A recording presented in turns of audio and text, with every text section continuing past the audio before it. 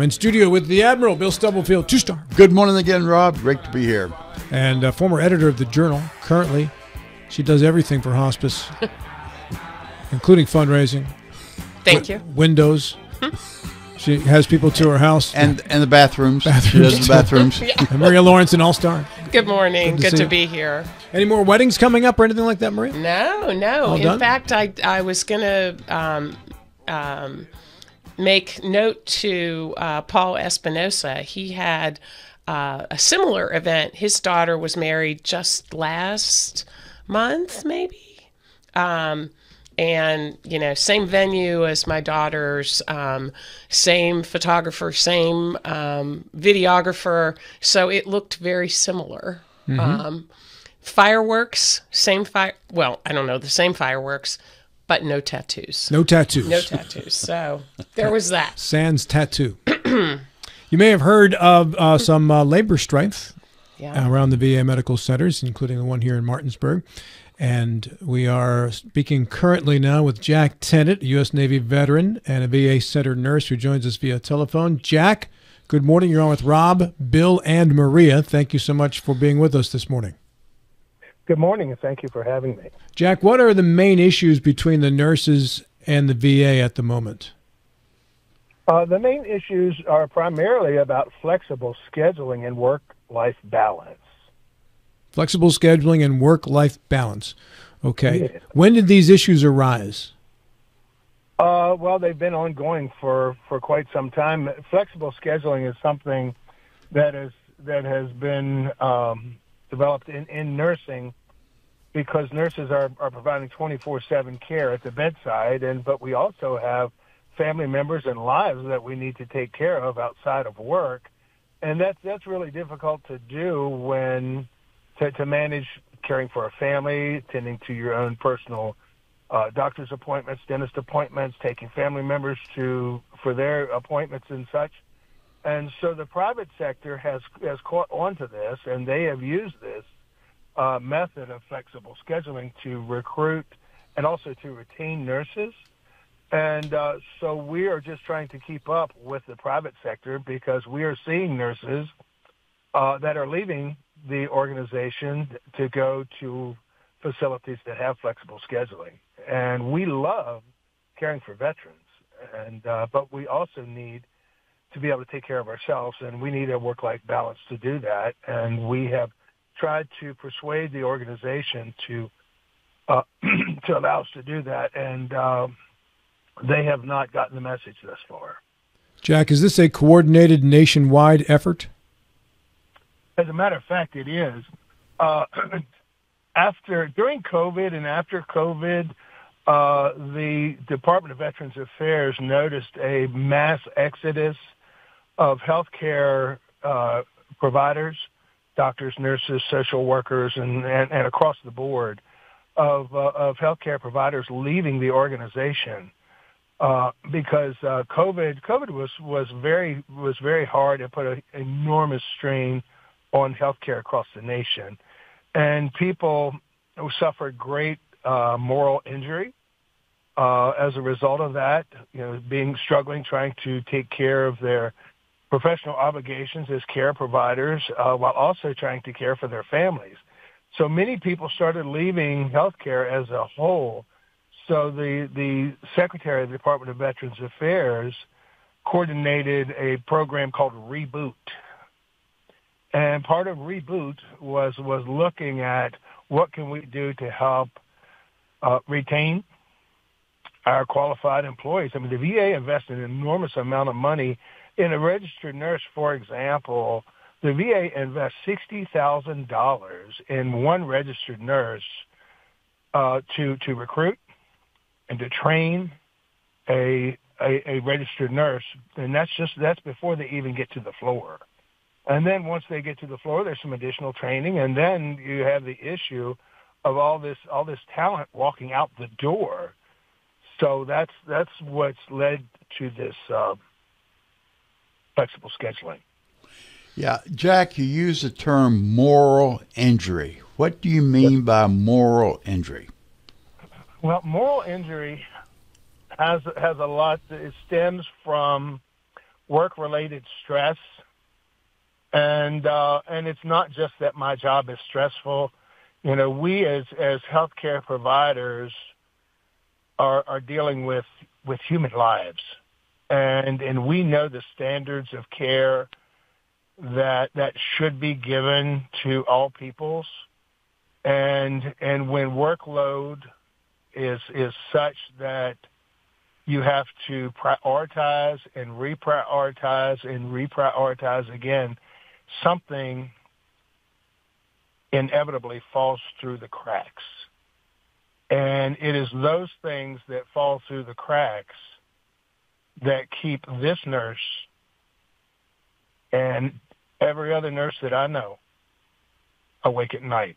We lament, we, we grieve, over not being able to provide the quality of care that we were number one trained to, to provide.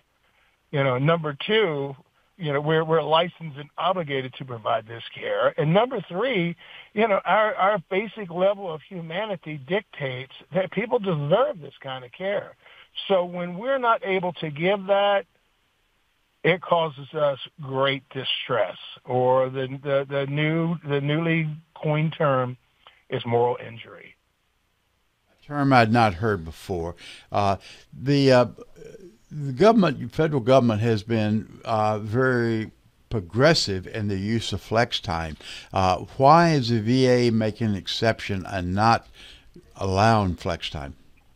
Well, the secretary of the VA has embraced it. As a matter of fact, I was was at a meeting in at DuPont Circle uh, where we, uh, on our lunch break, we went over in front of VA central office and we did an in- informational picket, which is exactly what, what we did. Um, in your opening, I, I don't know that you used the word strike or not, but I need to be very clear that we are not allowed to strike, but we can hold informational pickets. And we held an informational picket in front of VA central office, and and the secretary um, was out briefly uh, during that and uh, on his lunch. And so afterwards, he reached out to our national leadership and ask if he could come and, and, and talk to us at our hotel in DuPont Circle. and uh, Mr. McDonough came over and uh, and we talked about reboot and and he supports he supports flexible scheduling. However, he has left he has left um, discretion up to the local facility directors as to when, how, and if it has been uh, implemented. And for the record, you know, we we fought uh, and we persuaded medical center leadership um, to do a pilot uh, in one of our IC, in our ICU intensive care unit, and and quite frankly, I, I almost believe that they hoped it wouldn't work, but it worked. Not only did it work, you know, it worked. It worked as well as could be reasonably be expected. It has improved uh, employee satisfaction. It has reduced moral injury. It has uh, reduced uh, call-outs from you know, nurses calling in for, for sick leave or to take care of family matters because using flexible scheduling has has permitted nurses to schedule their life around their work. So, um, Jack, this is Maria Lawrenson. I just wanted to to clarify because I was trying to understand reading the the story in the journal yesterday. Um, they were using a 7280 formula. So, yes. is this uh, explain that and how that would work specifically, or is it more flexible person by person? You couldn't do that person by person, right? Well, what what what 72 for 80 is is is what's being what was implemented in our intensive care unit. Okay. Um, and that is where uh, we we work on a two week pay period uh, which would normally be 80 hours. And with 72 for 80, the nurse will work 72 hours, get paid for 72 hours, but qualify for full-time benefits as an 80-hour employee. Now, other other areas of nursing, uh, for example, in our outpatient clinics, um, that would not work because they don't work 12 hour shifts. They, they work an eight hour shift.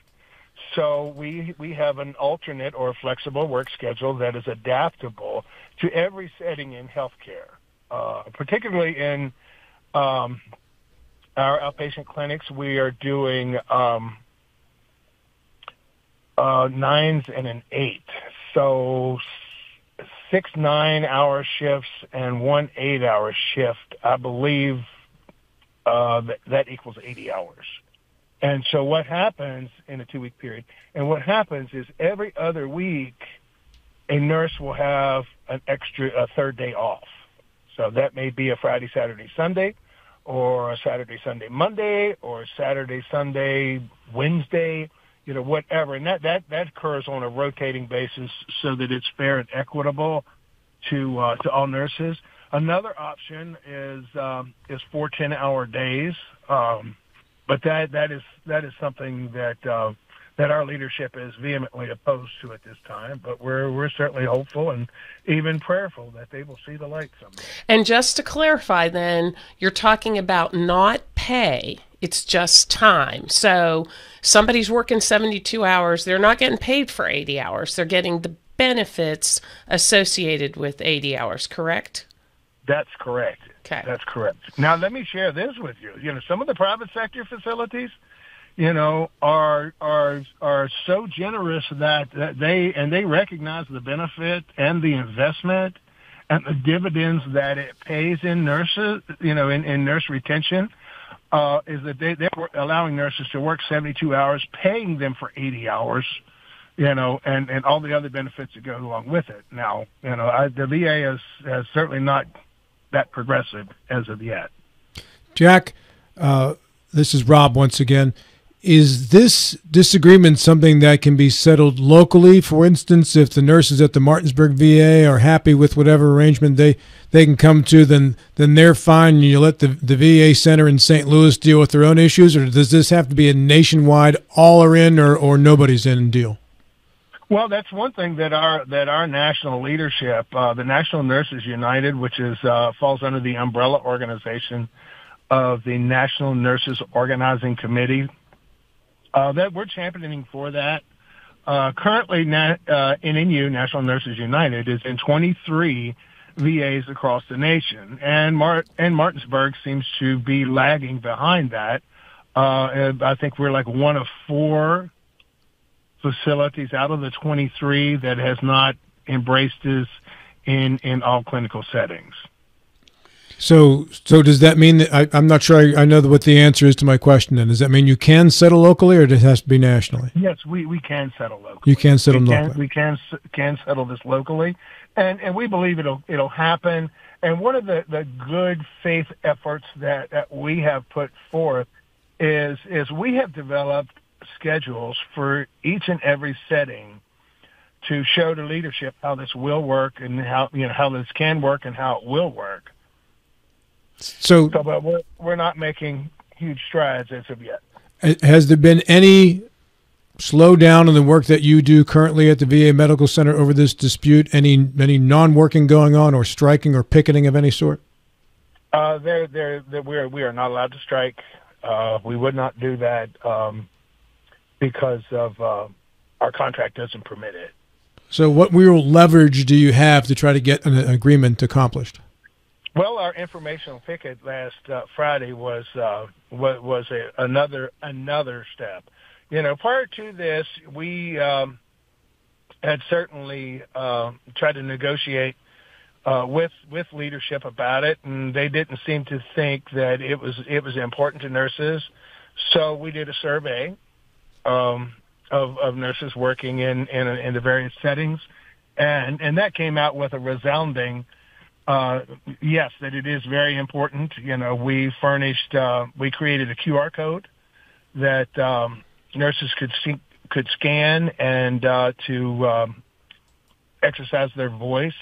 And that voice was sent via email to our nurse executive, our facility director, and the VISN or network director. And uh, and again, you know, the it was it was pretty resounding, you know, that this is very important to nurse nursing. So, and those are just some of the steps that that we have done. And um, our last step up to this point has been um, the informational picket. Uh, Jack, in most federal agencies, the head of the agency or department, head of the agency department sets a tone for what has been done. Uh, you made the statement earlier that the Secretary of uh, Veterans Affairs was in favor of flexitime. Then why do the individual hospitals go against what is being proposed by the Secretary of, uh, of Veterans Affairs?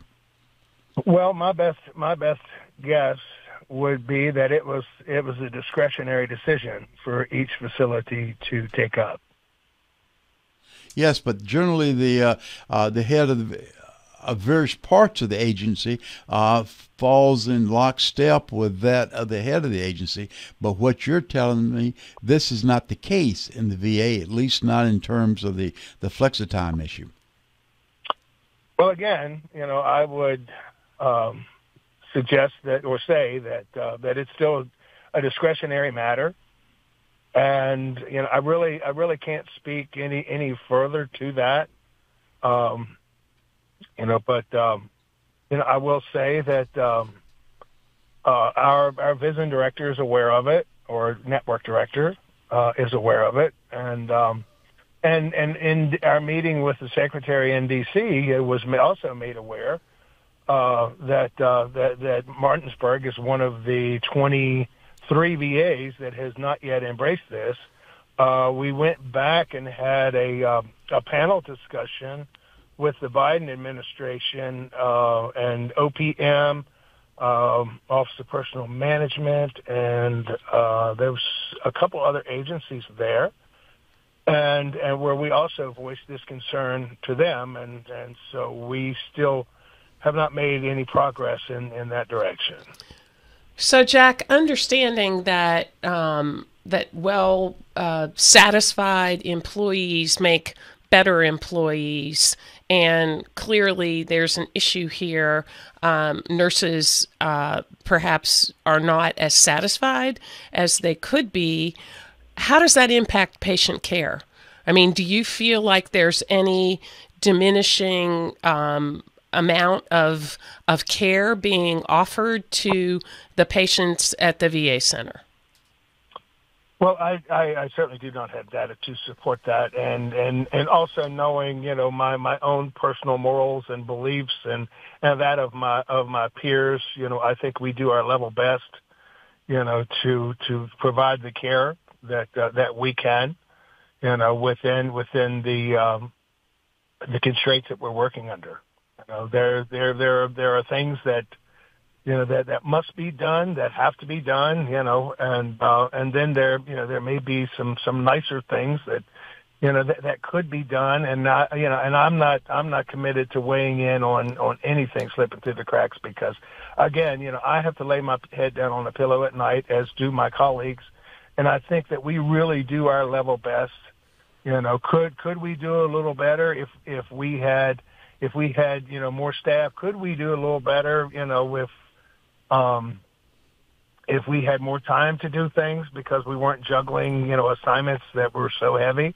You know, there's uh, some California Nurses Association and the state of California has developed nurse staffing ratios, uh, which has has limited the number of patients any nurse in any given setting is is providing care to, and uh, and and that is is really something that um, if the VA really wanted to be super progressive, that would be something you know that they would they would embrace, and it certainly has not been for lack of effort. You know, uh, there there have been bills um, by um, Senator Takano. Um, from California, and there's several others, and and our support is growing for it.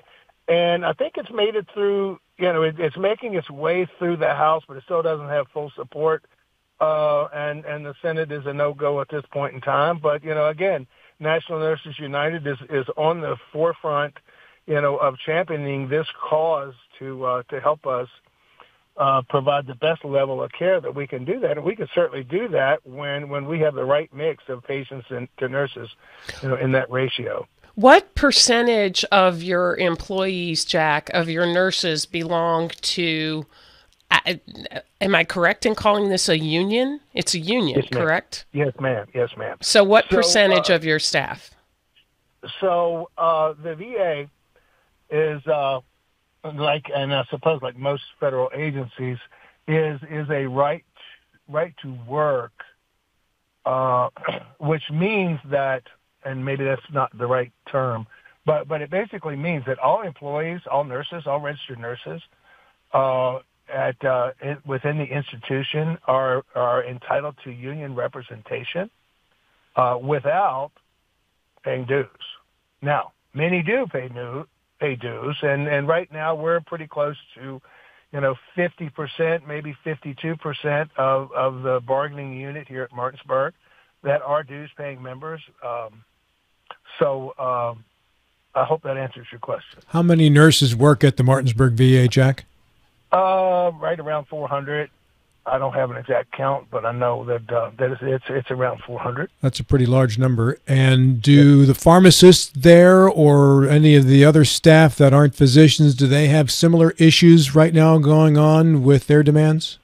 Well, and it's uh, I'm glad you asked that question uh, because all of all of healthcare and anyone anyone who is dealing directly with patients, uh, flexible scheduling is something that could readily be adapted, you know, to to multiple disciplines, uh, to physicians, phys- uh, pharmacists, social workers, occupational therapists, physical therapists. It, it could all it could all be developed, you know, to support their work life balance too. Uh, Jack, uh, as- But, yeah, but real quick, Bill, as a follow up, are, are they involved with your cause here as well, or right now are they sitting this one out to see how it goes, or do they just not have any concerns? Well, they have great concerns, but I think they're they're re- they're they're really waiting for the precedent to be set. You know, and that's my argument as well. You know, and uh, because we do work, hand- yeah, they are represented. Other allied healthcare professionals are represented at Martinsburg by NIFI, uh, which is an acronym that escapes me at the very moment, uh, and and NAGE is another one, National Alliance of Government Employees. Um, are the three unions primarily in, in force here at Martinsburg, and, and they are waiting for the precedent to be set. But they, yeah, we walk lockstep as, as often as we can on, on patient care issues, and uh, and we come together uh, as a uniform front to, to champion for causes that uh, that affect us all, and, and and first and foremost are affecting veterans. Two minutes, Bill. yeah, uh, Jack, are you, uh, in terms of nurses at uh, Martinsburg VA, are you fully staffed? Are you up to quota? Well, I guess that depends on who you talk to. No, I'm talking about there should be a a funding and a a level level that everybody agrees to. Are you up to that particular level? Well, again, we all don't agree. Okay. That's fair. So, uh, you know, the, the, the VA nationally uh, is, is facing an enormous budget deficit. Uh, that was brought about by multifactorial of causes. I think the Mission Act contributed pretty significantly to it. The Mission Act is something that allowed veterans to pursue health care outside of the VA and um, which if you know we have in, in our geographical area here at Martinsburg, we serve veterans as far north as Harrisburg, Pennsylvania, as far south and beyond of, of Staunton, Virginia, as far east as like Germantown, Maryland, in that general area, as far west as the Potomac Highlands, Franklin, West Virginia, Moorfield, and, and those areas. So what the Mission Act did for these folks is rather than driving all the way to Martinsburg for a dental appointment, they could go to a local dentist. And, um, uh, or, you know, if they needed a chest x-ray, they could go to a local hospital and get a chest x-ray or whatever the procedure was. It afforded them the opportunity to go locally to get the care rather than driving all the way to Martinsburg. Jack? And one of the things that that did is the money that, that pays those bills comes out of the VA budget. Got it. Jack, on that note, I've got to jump in because we are out of time. I thank you for yours and wish you the best in continuing negotiations. Thank you very much, and thank you for your time. Thank you for the information. Good Thanks, stuff. Jack.